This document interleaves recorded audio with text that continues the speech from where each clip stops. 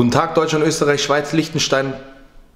Ich habe meine eigene Begrüßung vergessen, verdammt. Guten Tag Deutschland, Österreich, Schweiz, Liechtenstein und Luxemburg und herzlich willkommen bei einem weiteren Video. Freunde, ich habe euch gesagt im vorletzten Video, das war's mit München. Und wir sind angekommen im wunderschönen Wien. Das Wetter ist der Hammer. Ich bin glücklich, ich habe die Wohnung gerade übernommen, also vor ein paar Tagen. Es sind auch noch gar keine Möbel drin. Ich habe gerade mal nur ein Bett und die Küche und das Badezimmer. Auf jeden Fall habt ihr euch gewünscht, ich habe einen coolen Kommentar gelesen, so hey Randy, zu den 20.000 Abonnenten, mach doch mal so ein Update. Ja, wie, deine Geschichte, dies, das. Ich werde auf jeden Fall in diesem Video so ein bisschen erzählen, so was mache ich eigentlich, warum bin ich nach Wien, was passiert jetzt in nächster Zeit, was habe ich vor mit dem YouTube-Kanal, was habe ich vor mit dem Content und das ist eigentlich auch im Grunde genommen das ganze Video. Ich wünsche euch viel Spaß. Bevor es aber jetzt zum Sport geht, einmal noch mal kurz Gesicht waschen. Diese Frisur, okay, weiß ich, die ist es nicht. Aber wenn die Haare mit Got to be Chaot gemacht sind, nachdem sie nass waren, noch am überlegen, ich weiß nicht, ob ich die Haare abschneiden soll wieder.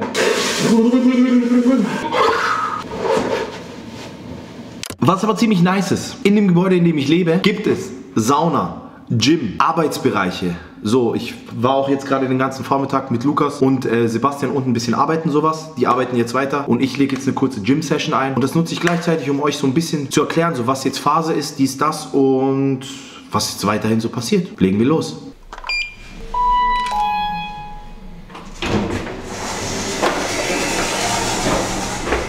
Die erste Frage, die ihr gestellt hattet, ist, warum bin ich nach Wien gezogen? Und da fragen wir jetzt einfach mal den Chef persönlich. Warum bin ich nach Wien gezogen?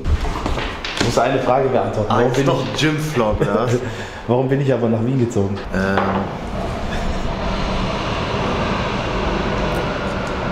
ich bin überrumpelt von der Frage jetzt, ja? Ich beantworte euch die Frage auf jeden Fall am Ende des Videos. Dann beantworten wir gleich mal eine andere Frage. Und zwar, wie sieht es mit Ägypten aus? Ist die Wohnung fertig? Äh, gehen wir dann auch mal hin? Dies, das, blablabla. Ich kann euch sagen, die Wohnung ist so viel wir geschafft haben, ich würde sagen, Sami und ich haben so 40% gemacht. Dann war Sami nochmal mit den Eltern oben und die haben wirklich, glaube ich, jetzt 90% fertig. Ich weiß nicht, ob ich Bilder habe. Wenn ich welche habe, dann blende ich sie euch jetzt mal ein. Und herzlich willkommen im Gym des Hauses. Ich zeige es euch ganz kurz, ich muss euch das einfach zeigen.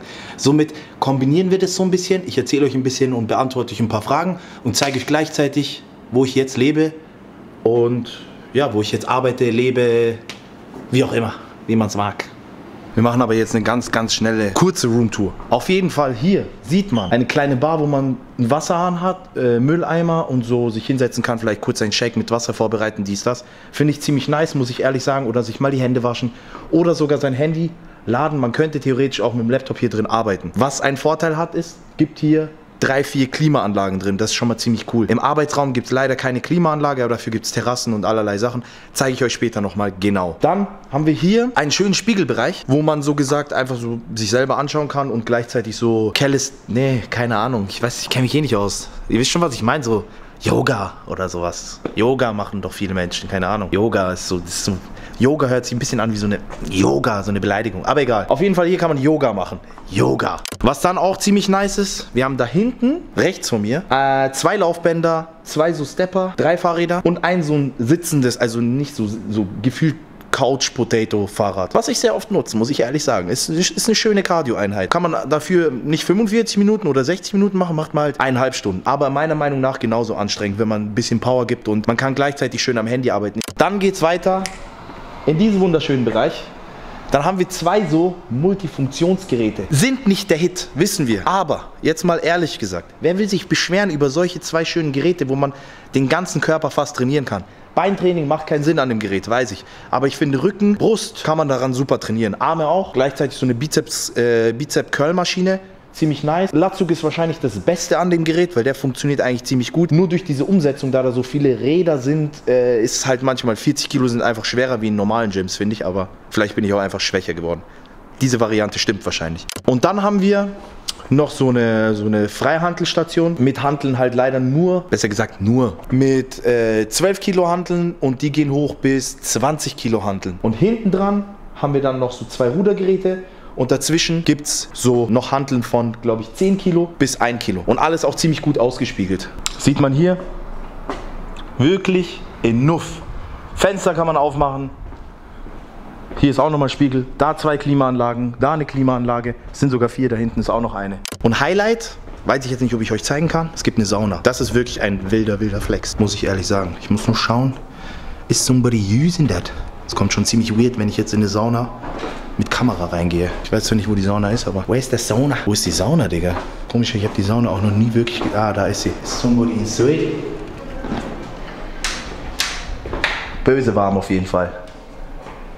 Das ist die Sauna, ja. Also, komm. Alkoholaufgüsse sind verboten. Habe ich noch nie gehört, dass in der Sauna Al- Alkohol aufgegossen wird, aber auch nicht schlecht so zum Vortrinken. Jetzt ähm, beantworte ich euch noch eine andere Frage.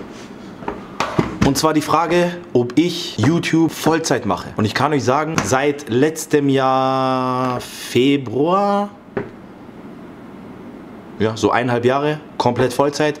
Ich habe davor 2019 mal mit YouTube angefangen, konnte es aber nicht genau, also komplett durchziehen. Ich will, würde jetzt sagen, so es am Job lag, lag es aber nicht, es liegt immer an einem selber so. Ich hatte einfach nicht die Power, ich hatte auch nicht das richtige Konzept. Die Videos waren ziemlich cool, muss ich ehrlich sagen. Ich weiß gar nicht, ob ich die noch habe, aber vielleicht kann man irgendwann mal so eine Reaction darauf machen auf Twitch oder sowas. Und ich habe auch noch, 2019 habe ich, also diese Challenges habe ich gemacht und ich habe noch so Straßenpranks gedreht mit so Ansteckmikro und sowas. War aber nicht so lustig, wie ich gedacht habe, weil, ja, keine Ahnung warum. Die einzige Sache, die sich halt ändern wird, ist, ich liebe den Food-Content, den mache ich sehr, sehr gerne. Alleine schon dadurch, ich habe das Essen nochmal anders lieben gelernt, dadurch, dass ich die, wirklich das Glück habe, mit Lukas so viel zu reisen. Aber ich möchte nicht nur Food-Content machen. Das heißt, es wird auch immer mal wieder solche Videos geben oder einfach normale, also ich sag mal, nicht essensbasierte Vlogs. Ich will nur, dass ihr als Zuschauer auch wisst, für alle, die mich eigentlich ziemlich gut kennen, ich stehe nicht für Food-Content, sondern ich würde eher sagen, ich stehe für Entertainment. Ich bin nicht Lukas so am Ende des Tages. Konzentriert euch bei mir mehr auf die Unterhaltung wie aufs Essen. Ihr wisst selber, manchmal ich laber auch kompletten Schmarrn, aber ist wie es ist, es juckt mich auch nicht. Und jetzt würde ich sagen, ich weiß noch nicht, ob ich laufen will oder Fahrrad fahren. Egal, gehen wir laufen. Auf jeden Fall habe ich meine ERAs zum Trinken vergessen. Take it away, take it away, feeling too good to me. Chilling all day, all in your space is where I wanna be. Here in this room, what did you do? I just can't get enough. Too caught up in your love.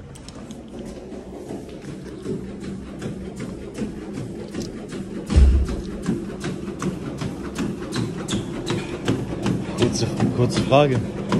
Warum bist du aber nach Wien gezogen? damit wir WG machen. Ah, Also ich muss ehrlich sagen, ich bin im Laufen nicht mehr der Beste.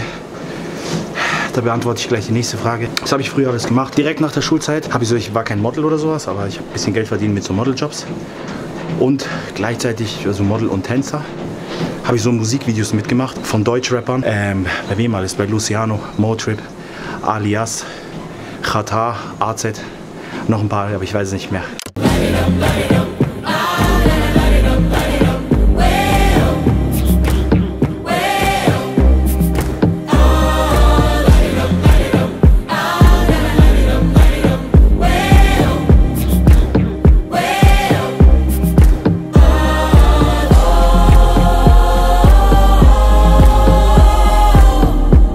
Jetzt beendet, ihr müsst jetzt auch mal echt eure Meinung sagen. Lukas und ich, WG, das wär's doch, oder? Problem ist, Herr Storyfeed erlaubt nicht. Lukas will, ich bin überrumpelt, aber Sabrina sagt nein. Check ich nicht. Ihr könnt mal gerne Sabrina auf Instagram schreiben. So, hey, lass mal die Jungs WG machen. Weißt auch mal einen Schritt zurück, geh nicht immer nur nehmen, auch mal, auch mal, weißt. Und dann gibt es hier noch so eine Area draußen, schöne Terrasse, pipapo. Und da drin, wo jetzt gerade Lukas und Sebastian arbeiten, genau, gibt es gleichzeitig so, eine, so ein Büro mäßig, wo man halt WLAN hat und einfach in Ruhe arbeiten kann, so ein bisschen aus seiner Bude rauskommt. Ja, einfach wie so ein Büro. Und dann gibt es sogar noch eine extra Küche in dem Raum, also schon ziemlich, ziemlich nice alles aufgeteilt, muss ich ehrlich sagen. Ich bin sehr glücklich hier. Genau, und jetzt geht's duschen und dann ähm, beantworte ich euch noch diese Frage, warum ich eigentlich, warum bin ich nach Wien gekommen? Also passt. Ihr könnt jetzt aufhören, als würdet ihr arbeiten. Das war gut das fürs Video. Passt. Ach so. Danke. Tschüss. Tschüss. Warum bin ich eigentlich aus Ägypten? Naja, wir haben eigentlich nicht mehr geplant als maximal sechs Monate. Ich muss ehrlich sagen, ich bin in Deutschland groß geworden und aufgewachsen. Sehr ungewohnt dort. So, ich spreche die Sprache nicht und es ist sehr hektisch dort. Warum bin ich eigentlich wirklich nach Wien? So, das hat viele Gründe. Erstmal, wir sind aus Ägypten zurückgekommen, dann hatten wir schon mal keine Wohnung, weil wir haben die Wohnung davor ja aufgegeben gehabt. Und dann war mein Plan, also zu kurz zu dieser Story, weil die ist auch ist eine sehr kritische Story. Was ist das eigentlich für ein Winkel, Bruder? Also ich bin hier wirklich der, videografisch gesehen, wirklich der schlechteste YouTuber. What the fuck? Ist das ein besserer Winkel? Nee, ist auch nicht. Ist auch, Alter. Der Winkel ist auf jeden Fall besser. Was wollte ich jetzt sagen? Jetzt habe ich vergessen, was ich sagen wollte. Guter Winkel, aber vergessen. Ah, mal als anderes Thema. Die Dusche, ziemlich nice. Wenn man hier so drin steht, ich kann meine, seht ihr das? Diese Dusche ist verdammt groß. Ich liebe große Duschen. Was ich noch ändern werde, ist den hier. Weil ich will so. Pff, ihr wisst ja, was ich meine. So übelst viel Wasser verbrauchen und richtig der Umwelt schaden. Warum bin ich nach Wien gegangen? So, die Frage ist ganz einfach zu beantworten. Ja, es war immer blöd. Ich war in München, er war in Wien. So, dann wir arbeiten zusammen. Ja, wir arbeiten sehr viel zusammen. Wir drehen sehr gut miteinander, egal ob es meine Videos sind, egal ob es seine Videos sind. Und überhaupt mit der ganzen Crew hier in Wien, mit Sabrina, mit. Das war es eigentlich auch. Anstatt mir jetzt wieder eine Wohnung in München zu suchen, wo die Mieten teurer sind, wo keine Ahnung. Um es jetzt kurz zu fassen, ich bin nach Wien gekommen wegen der Arbeit und natürlich, ich habe hier sehr viele coole Leute um mich rum und es ist sehr schön hier und ich mag diese Stadt wirklich gerne. Das, das war's eigentlich hier, jetzt mal Real Talk. Ansonsten, keine Ahnung, weiß ich jetzt nicht, du verstehst? Weiß ich jetzt nicht, verstehst? Ich bedanke mich fürs Einschalten. Falls euch dieses Video gefallen hat, lasst gerne ein Like und einen Kommentar da. Und falls ihr den Kanal noch nicht abonniert habt, dann dürft ihr es jetzt gerne machen. Eigentlich, ihr solltet eigentlich auch diese Glocke aktivieren. Es haben nur so 10% die Glocke aktiviert. Warum? Macht mal also. Ich würde, hätte gern so 20, 30% stehen. Und ja, bis zum nächsten Mal. Peace.